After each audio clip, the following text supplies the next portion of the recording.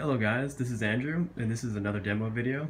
It's been maybe a little bit over a week since the last video, and in that last video, basically, I had a project where I had a webcam connected to the Zybo board, and then the Zybo board would display those frames as best as possible to a VGA display. Right now I'm actually loading up a new application. Everything's actually pre-installed onto the, the flash, so it takes a minute, but I have it set up such that the application starts immediately after the system boots up. But in that last video, um, essentially all it was the camera getting uh, just getting frames from the camera and then taking said frames and then displaying them on the VGA display. If you real if you uh, remember from the last video, that last video the the system didn't work that well. There was a lot of lag plus the actual size of the frame didn't fill the screen. In this particular project, I do a bit more. I actually implemented a few different filter systems. One filter is a uh, Sobel filter. Another filter is the uh, Canny Edge detection filter. Another one is uh, a Harris corner detection filter. And another one is just simply making the color display become uh, gray. But the biggest improvement, in addition to those different filters being implemented, is the fact that everything runs a lot smoother. So you know, this is the, the video as you can see. I'm moving around the webcam. You can see the, the VGA display reflecting what the webcam is looking at. And here's me holding the camera. Nice little cameo appearance there. But uh, interesting improvement to get this uh, better performance I basically just reduced like the resolution from the camera uh, down to a pretty low resolution and then I scaled it up using uh, Xilinx HLS video video uh, class, basically using HLS to take advantage of the, the, the FPGA. Resizing on the Linux kernel was pretty damn slow, so I was pretty much forced to use HLS video to make it run more smoothly. But if you look closely, the resolution is actually kind of bad, but it works in real time.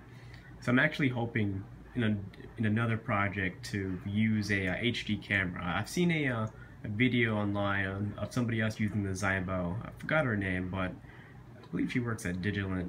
But she had a sample project where uh, she had a HD camera connected to the Zybo, and she was able to get HD video, I presume, and do processing over said video, and then display those frames on a VGA display. So just to kind of further demonstrate this project, I'm going to aim this camera in a, let's see, I'm going to aim it, lit, I'm going to aim it at my uh, Xbox controller there. So this project can do a few different things.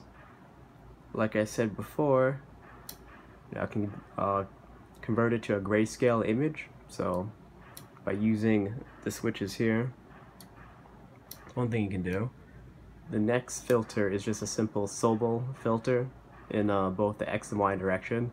So as most of you guys probably know, Sobel filter, you can use it for detecting the border. And again, I'm just using the uh, OpenCV functions to do this. I didn't actually implement this directly, but anybody can go online and find the, the filter, um, the filter mask to actually do this if they wanted to, but it's much easier just using the function.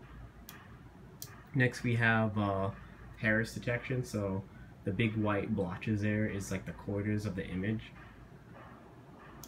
And then finally, we have the uh, the Canny edge detection. So this is, I believe this is based. I remember learning the algorithm once before, but this is entirely. This is basically based off the Sobel operation, I believe. I don't remember exactly, but the point of this project is just showing that I had these filters implemented and they work.